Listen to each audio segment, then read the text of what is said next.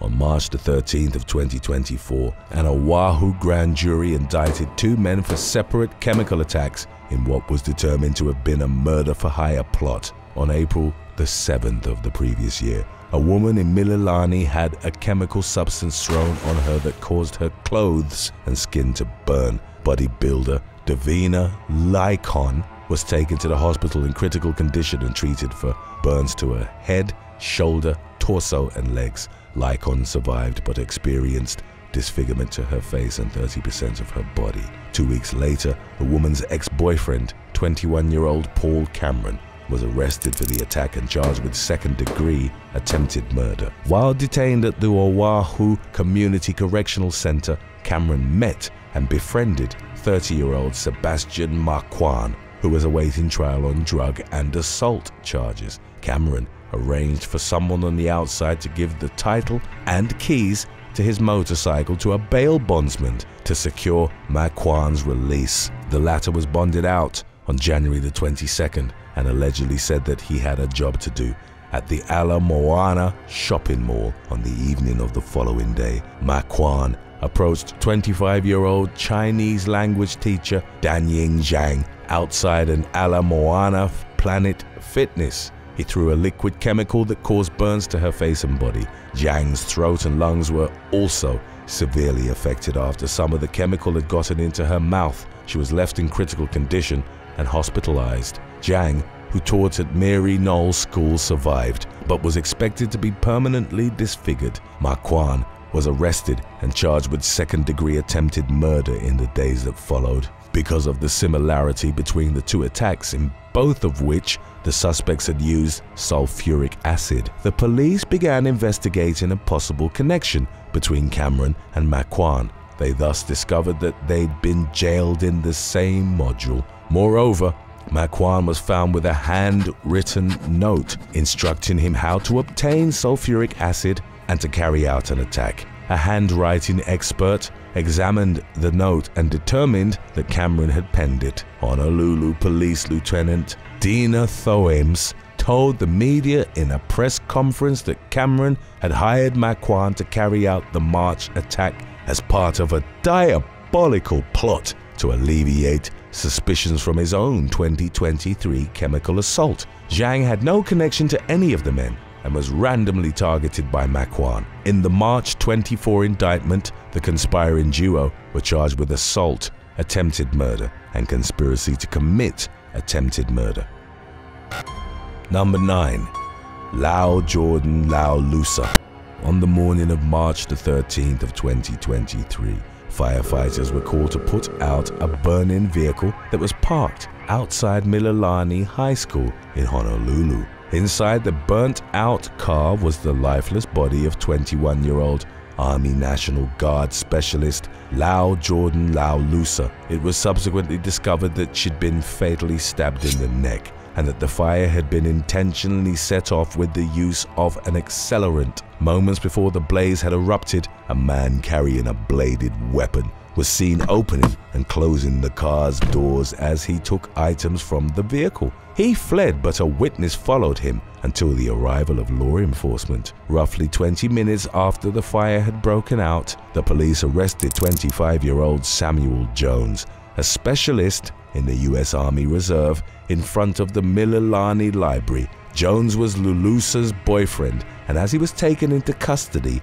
officers observed that a part of his shoe was melted. Jones also smelled of burnt plastic and had blood on his left ankle. Inside a trash can in the area, officers found bloodied clothes which he was determined to have discarded. On March the 17th, Jones was indicted on second degree murder and first degree arson charges. His bail was set at $1 million and he subsequently pleaded not guilty, requesting a jury trial. A motive for the stabbing wasn't released, but an ex-girlfriend of the accused killer agreed to talk to the media under the condition that she remained anonymous. The woman in question had reportedly dated Jones for three years and spoke about a dark side that the man had. Through tears, she said that he became extremely controlling about a year into the relationship and when she attempted to end it, threatened her if you try to leave me or if you succeed in leaving me, I'm going to find you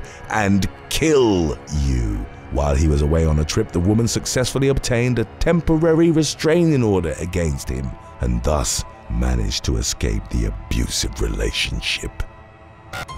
Number 8.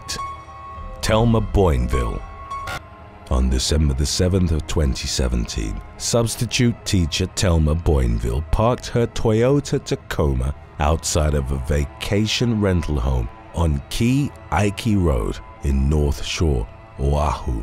Boinville was cleaning the home as a part of a second job to supplement her income. The 51-year-old woman's daughter, Makana, waited for her in the car. Boinville entered the home as couple Stephen Brown and Haley Dandurand, both in their early 20s, were in the process of burglarizing it. The duo had gained access to the property through an open window. They threatened Boinville with bladed weapons before restraining her. The woman was then butchered with knives and a machete, in addition to being bludgeoned with a meat tenderizer. Makana would later recount that a man with green hair, subsequently identified as Brown, grabbed her from the car, reportedly telling her, We killed your mother. Brown and Dandurand took Makana upstairs, bound her, and duct taped her mouth shut before fleeing in Boinville's Tacoma. They were arrested in Mililani a few hours later, and each reportedly asked officers to shoot them dead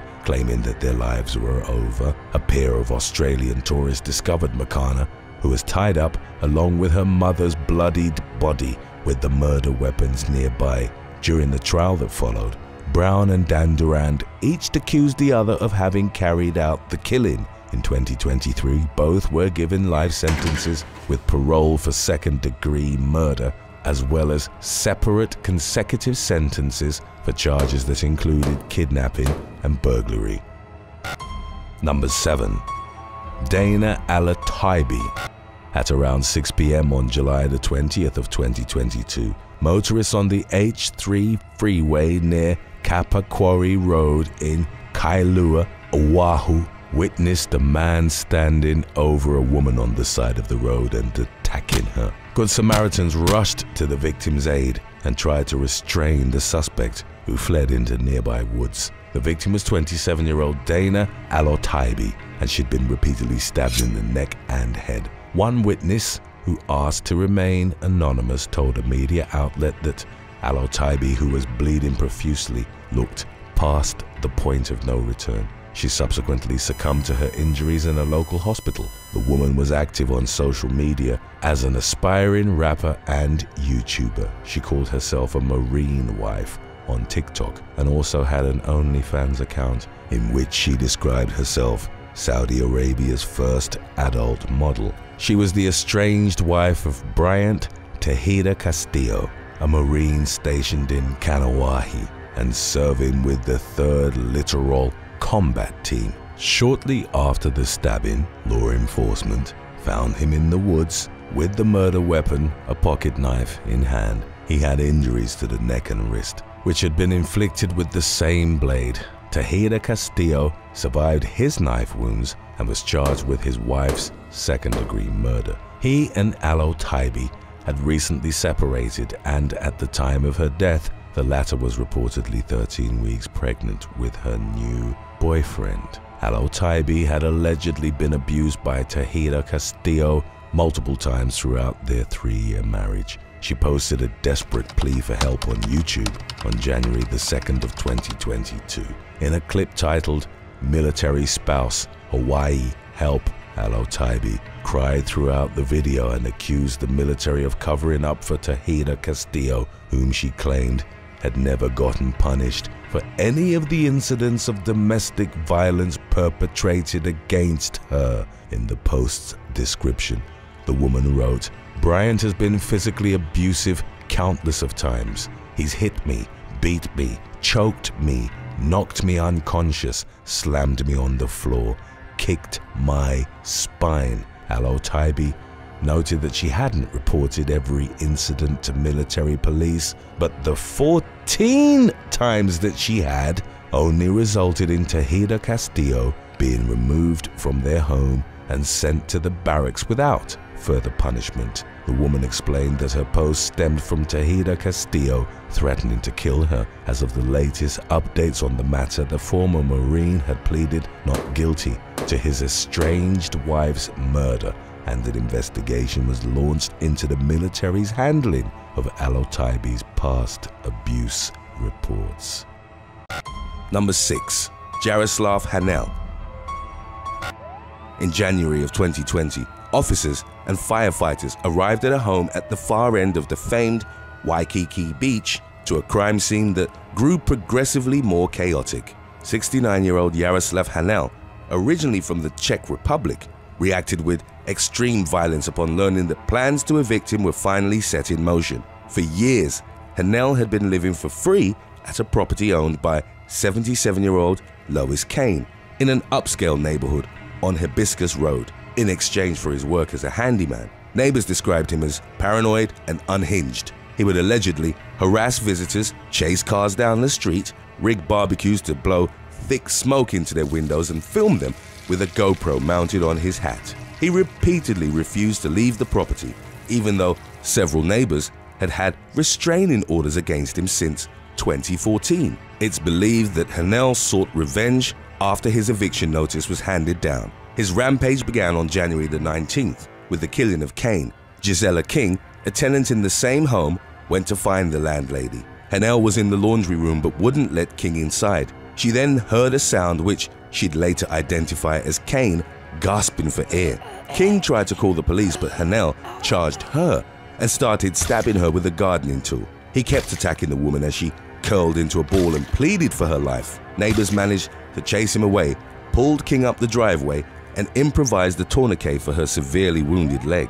As police arrived at the address and walked towards the entrance, Hanel opened fire on them with an AR-15 rifle. Officers Tiffany Enriquez, age 38, and 34-year-old Kaulike Kalama sustained fatal gunshot injuries. Both had reportedly been wearing bulletproof vests but were struck above them. Hanel then set the home ablaze and more gunshot sounds were heard attributed to Hanel's spare ammunition that caught fire inside. Firefighters were initially asked to keep their distance so that they wouldn't be struck by stray rounds. The fire extended and gutted at least seven homes while damaging several others. The remains of Hanel and Cain were recovered from the ashes and positively identified. Honolulu Police Chief Susan Ballard held back tears as she announced the death of the two officers whom she said were like her kids, while King mourned the passing of Cain, whom she regarded as a mother figure. Number 5. Lindani Myeni A former rugby player and Idols contestant from South Africa was fatally shot by Honolulu police officers in April of 2021 following an alleged burglary. A 911 call provided some insight into the incident that ended in the death of Lindani Myeni, reported as a prince from the Zulu kingdom he entered an Airbnb rented by Shane Sabine Wang and her husband. The woman called the police claiming that an intruder was inside. As confirmed by the caller, Myeni had already left the home when officers arrived at the scene. It was after 8 p.m. and in the dark, a physical struggle ensued between 29-year-old Myeni and the officers, which resulted in them shooting him dead. Two versions of events emerged in the aftermath. It was reported that Myeni had failed to comply after being ordered to get on the ground and that he attacked the officers. They reportedly tried to use non-lethal means of incapacitating the former professional athlete, including a taser, all of which proved ineffective. Fearing for their lives, they then fired their service weapons. Myeni was taken to the Queen's Medical Center where he passed away from multiple gunshot injuries. All three officers were hurt, and one of them had to be treated for a concussion. The official version of events was challenged in a wrongful death lawsuit filed by Myeni's widow, Lindsay, originally from Oahu. She, Myeni, and their two children had recently moved to Hawaii. According to the suit, Myeni had thought he was visiting a temple which was next door to the property and left when becoming aware his presence in the home was unwanted. The suit claimed that Myeni had been treated as less than a human being and, as an unarmed black man, had been racially discriminated by the renters and the arresting officers. Myeni had asked, Who are you? as the flashlight shone into his eyes and a weapon was pointed at him prior to attacking the officers. Body cam footage indicated that they'd only announced themselves as the police after four shots had already rung out. Footage from a doorbell surveillance camera seemingly confirmed that Myeni had mistakenly thought he was visiting a temple as he left and repeatedly apologized to the couple. The homeowner reported that the property had been misidentified as such in the past. Myeni was also wearing his umqhele, a traditional ceremonial Zulu headband, in homage to the spiritual place he thought he was entering. None of the officers were charged in the incident, and it's unclear if the matter would be reinvestigated. For their part, the Wangs reported that Myeni had followed them into the home and filmed them, claiming to be the homeowner before rummaging through their bedrooms. Police wouldn't confirm if it was the same story they'd shared when detectives first interviewed them. Number 4. Jill Hanson In May of 2014, a surfer was taken to jail with bail set at $1 million on attempted murder charges after hitting an elderly woman with her car. 73-year-old Elizabeth Conklin had no memory of the incident as she woke up in an ambulance. She was taken to a Honolulu hospital with two black eyes and various internal injuries, but her condition was stable. The incident occurred at the Diamond Head Apartments in Waikiki. 30-year-old surfer Jill Hanson, who also modeled her own line of wetsuits, had waited until Conklin exited her vehicle and then rammed her own car into her. As the victim was lying on the ground, Hanson geared up for a second strike, but was stopped by a maintenance worker who knocked on her rear window, potentially stopping her from ending the elderly woman's life. While initially reported as a road rage incident, prosecutors would argue that Hanson had run Conklin over because she was driving a BMW, described as her dream car. She jumped in and tried to drive it away but ultimately fled the scene by flagging down a passing motorist. Hanson was tracked down and arrested. Roughly a year after the incident, she was found not guilty by reason of insanity. Multiple clinicians determined that she wasn't in control of her actions at the time, having previously stated that voices in her head had told her to run Conklin over. Number 3. Honolulu Plane Crash On July the 28th of 2017, a small plane crashed in a remote mountainous region of Oahu 15 minutes after takeoff, killing its four occupants. They were identified as Virginia woman Heather Riley and her boyfriend, Garrett Evanson, both in their late 20s, along with Texas woman Alexis Aaron and pilot Dean Hutton, aged 32 and 29 respectively. Traffic control operators lost communication with the Beech 19A fixed-wing single-engine aircraft shortly after it had departed from Honolulu Airport. It was determined that it had crashed into the mountainside shortly before 7 p.m. The wreckage and bodies were discovered the following day in the Waianae Mountains above Kunia. An investigation by the National Transportation Safety Board attributed the crash to pilot error and found no mechanical issues with the aircraft. It's been reported that after performing several 360 degree loops, Hutton was flying at a low altitude and too close to the mountain. A witness had reported seeing the low flying aircraft attempt to make a turn and then hearing a boom after it had gone out of view. Number 2. Xerox Massacre The worst mass murder in the history of Hawaii occurred on November the 2nd of 1999 at a Xerox Corporation building in Honolulu. Service technician Brian Koji Uyesugi entered his workplace armed with a Glock 17 handgun and extra ammunition. Shortly after graduating high school in the late 1970s, Uyesugi had crashed his father's car and sustained an injury from smashing his head on the windshield.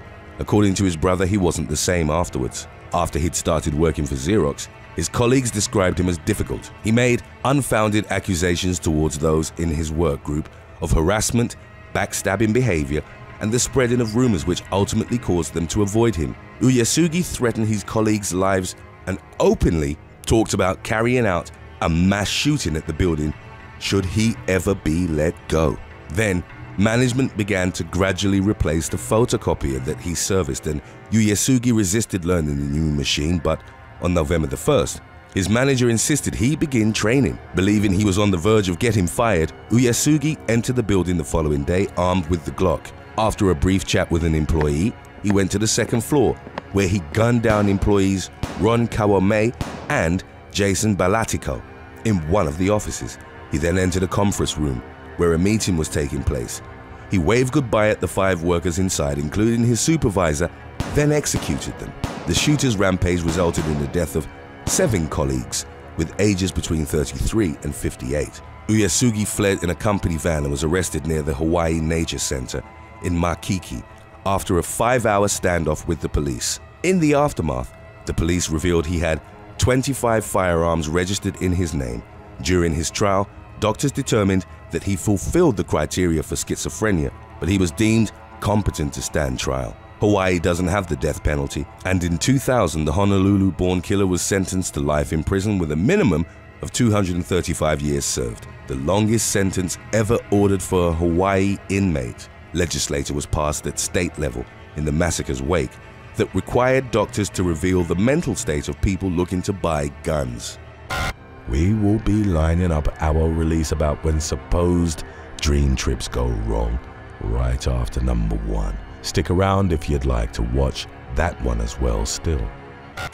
Number 1. Honolulu Strangler The Honolulu Strangler, Hawaii's first known serial killer, terrorized the paradisical city in the mid-1980s but was never brought to justice. Active between 1985 and 1986, the Strangler was responsible for the death of at least five women. The first victim was 25-year-old Vicky Gale Purdy, the wife of an Army helicopter pilot, who was supposed to meet her friends and go clubbing in Waikiki on May the 29th of 1985. She was last seen alive at around 12 a.m. by the taxi driver who'd driven her back to her car. Purdy's lifeless body was found the following morning in an embankment at Keehi Lagoon. Her hands were bound behind her back and she'd been abused and strangled to death. The following two victims were Regina Sakamoto and Denise Hughes, who were killed following the same modus operandi in January of 1986. On February the 5th, a serial killer task force was put together in collaboration with the FBI and the Green River Killer Task Force. The Honolulu Strangler was determined to be an opportunistic killer who didn't stalk his victims but instead preyed on vulnerable women when they were alone at bus stops or other locations. Evidence suggested that to avoid detection, he carried out his crimes in the back of a light-colored van. Two more killings followed. 25-year-old Louise Medeiros disappeared after she told her family she would return by bus from the airport on March the 26th. Road workers found her decomposing body unclothed in the lower half and with the hands bound behind her back near Waikele Stream in early April. The strangler's last known victim was 36-year-old Linda Pesce. She was reported missing by her roommate after she'd failed to return home from work on April the 29th. In the aftermath of her disappearance, a man named Howard Gay approached the police, claiming that a psychic had told him where to find Pesce's body. He'd led them to an exact location on Sand Island and, while the body wasn't there, it was eventually recovered elsewhere on the island. Gay was arrested and became the police's most prominent suspect. Two of his former partners had revealed that he partook in bondage, a potentially incriminating fetish considering the nature of the crimes. He also fit the suspected build and age of the killer. Gay was interrogated for hours and took a polygraph test, which came back inconclusive. However, much of the evidence that the authorities had to tie him to the killings was deemed circumstantial. He became a free man and stated, The police have released me. That's all I know. They have plenty of good cause. They're doing their job. The killings stopped following his arrest and release. Gay died of kidney failure in 2003. Several leading members of the task force believe that had DNA testing been available at the time, he would have been confirmed as the Honolulu Strangler. In the spring of 2023, Canadian woman Kiara Agnew and her boyfriend, Ryan Fryson, an ice hockey player for the Dawson Creek Canucks, were on holiday in Mexico. The couple was staying at the Princess Resort in Playa del Carmen on the Caribbean Gold Coast, south of Cancun. They'd taken the trip to celebrate Agnew's upcoming 24th birthday. As reported by her family, she'd been counting down the days to the trip since Christmas and was particularly excited about seeing the Mayan ruins, a destination that was part of the traveling package. Agnew, however, never returned from her trip As reported by Mexican authorities on March the 3rd, the young woman's lifeless body was discovered in the resort's laundry room with visible injuries and bloodstains. Her suspected killer was found sleeping beside her on the floor. He had swelling on his hands and traces of blood on his clothes. And the police found there was enough evidence to arrest him on suspicion of murder. While local authorities didn't directly confirm that the man in question was Fryson, subsequent information indicated that the suspect was a 26-year-old Canadian man. Number 6. Victor Masson in May of 2023, Canadian banker Victor Masson was visiting a popular beach resort in Oaxaca, Mexico, alongside his girlfriend, Mexican national Elva Castillo. The couple had spent Sunday, May the 14th at the beach and in the evening, 27-year-old Masson remained at the hotel while Castillo went to have dinner with her family in Puerto Escondido. The man eventually decided to go out by himself and ended up at the El Aldoquin bar. At some point in the night, he argued with a group consisting of two men and two women over an unpaid tab. He sent Castillo a message that read, I have no idea what's going on. If I text you the word danger, find my location and call the police, okay? Masson sent the woman an additional message claiming he was stuck with them, referring to the group because they'd intercepted him when he tried to leave and return to his hotel. The following morning, on May the 15th, Masson's body was found in his car with fatal gunshot wounds about two miles from the bar. The alleged killers had taken the man's wallet but left behind his cell phone and passport. Castillo reported Masson missing after he'd failed to show up at the hotel before learning about his death a few hours later. Towards the end of May, local law enforcement reported that they'd arrested the suspected gunman but didn't disclose his identity. Number 5.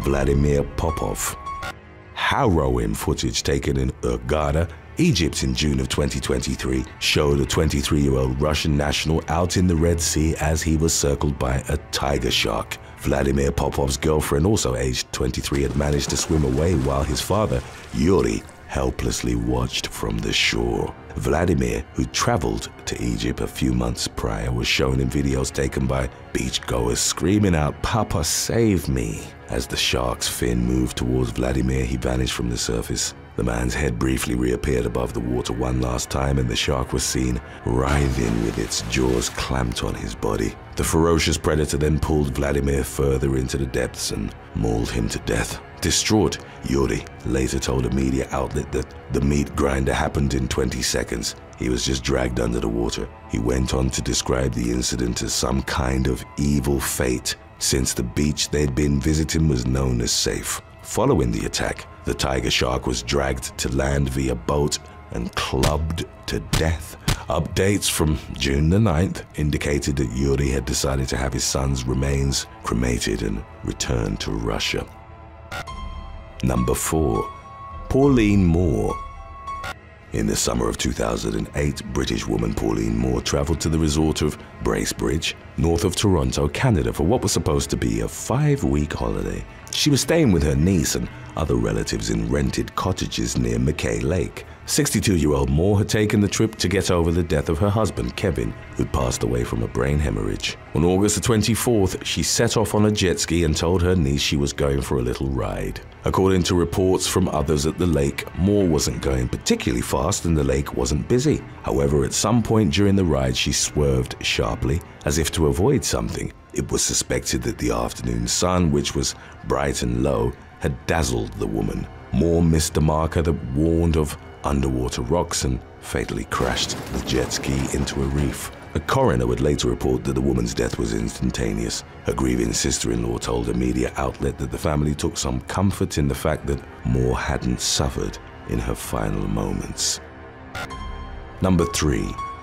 Owen Family 68-year-old Lewis Owen and his wife, Rosemary, aged 65, were visiting the beachside resort town of Hua Hin in Thailand in April of 2016. The trip in which they were joined by their son, also named Lewis, took place at the time of the Thai New Year's Songkran festival, when the streets traditionally turn into giant water fights. The family encountered a group of four men ranging in ages from 20 to 32 whom witnesses claimed were already rowdy and looking for a fight. The men had started brawling among themselves when 43-year-old Lewis accidentally knocked into one of them and caused him to spill his drink. The men then angrily pushed Lewis to the ground. Rosemary intervened and slapped one of the assailants. Moments before another punched her husband, the group then set upon the family and started viciously beating them. The prolonged assault was captured on CCTV and the footage later drew outrage from the general public and criticism towards Thailand's pre-existing reputation of often failing to provide safety for its tourists. Rosemary was struck with such force that she was knocked unconscious, while her son and husband were relentlessly punched and kicked even after they dropped to the ground. When Rosemary regained her senses, she was forcefully kicked in the head. Onlookers intervened in the attack's aftermath while all three members of the Owen family lay unconscious in the street. The father and son received stitches while Rosemary was hospitalized for a few days as she needed surgery to reduce swelling in her brain. The family had been frequent visitors to Thailand but vowed to never return. Their attackers, Chaya Jaiboon and Siva Noksri, both aged 20, along with Supata Batong and Yingyai Siang Kamin, both aged 32, were arrested and charged with conspiracy to commit group assault. They confessed their crime and were each sentenced to two years in prison. They apologized to the victims and blamed the attack on their intoxicated state at the time. Number 2. Henry Miller 19-year-old Henry Miller from Bristol, England, traveled to Colombia on February the 14th of 2014 and was staying at a hostel in the country's south. The teen last contacted his family on April the 22nd before he set off in the rainforest to take part in a shamanic ritual. It was his second ceremony that involved consuming a brewed drink called yage, also known as ayahuasca or caapi, among other indigenous groups in South America. One of the brew's active ingredients was dimethyltryptamine, commonly abbreviated as DMT, a potent hallucinogen which causes intense changes in perceptual awareness. Indigenous cultures in the Amazon are said to use the brew as the means of inducing spiritual visions. Miller had attended a ceremony on April the 20th, during which he drank three cups of yage, but subsequently told his family that he'd felt nothing. He returned to the tribe two days later and took part in another ceremony. Shortly after drinking the brew, Miller fell gravely ill and had trouble breathing. Two teenage tribesmen took him towards a local hospital, but Miller died on the way. The teenagers panicked and abandoned him on the side of the road in the remote Putumayo region where he was later found by local police. In the incident's aftermath, the authorities in the UK determined that Miller's death had been accidental. The tribe held its own trial in July of 2014, attended by a representative of the British Foreign Office. The tribe reiterated they'd never meant to harm Miller but share their cultural practices with him like they did with other foreigners. It was determined that shaman Guillermo, his wife Mama Concha, their son and his friend should be punished with nettles for their role in the teen's demise. The four later sent an apology letter to his family. Number 1. Alona Savchenko Alona Savchenko and her boyfriend, Jerzy Lagoda Filipao, checked into the Key Sathorn Charan Raj condominium building in Bangkok's Khao Lam district on April the 29th of 2023. Lagoda Filipao owned an advertising firm registered in London and Savchenko, an aspiring model, had recently done photo shoots for his company. In the months leading up to the Thailand trip, photos from the Ukrainian woman's social media showed her posing in different picturesque locations in Istanbul, Valencia, Rome, and London. On May the 15th of 2023, surveillance footage from the high-end condominium showed Lagoda Filipao leaving with a suitcase but without his girlfriend. Acting on a tip from a taxi driver, the police then raided the couple's 32nd floor apartment. They found Savchenko's mutilated body on a bed beneath a blanket. Her face was covered in blood. She'd been nearly decapitated and had also been stabbed in the chest. One of her hands was hacked off at the wrist, and the police found a sword near the bed. The taxi driver who'd alerted law enforcement had reportedly been asked by Lagoda Filipao through Google Translate to help dismember his girlfriend's body in exchange for $44. He refused before dropping off the man at a hotel in the Sathorn district and calling the police. A manhunt for Lagoda Filipao was launched Later that night, police officers and a ranger force were patrolling a market in the Aranyaprathet district on the Cambodia border. A sniffer dog then ran up to a foreigner Sitting alone at a stone table, law enforcement recognized him as Lagoda Philippou from the picture of him that had been sent out. The man was arrested about 135 miles from the murder scene in Bangkok, and as he was preparing to board a minivan and cross into Cambodia, inside his luggage the police found Savchenko's passport. Officers reported that Lagoda Philippou had refused to speak to them but was remarkably calm in spite of being taken into custody as a murder suspect. A police lieutenant told the media that he drank coffee as normal in his cell and started exercising like it was his normal morning routine. Thanks for watching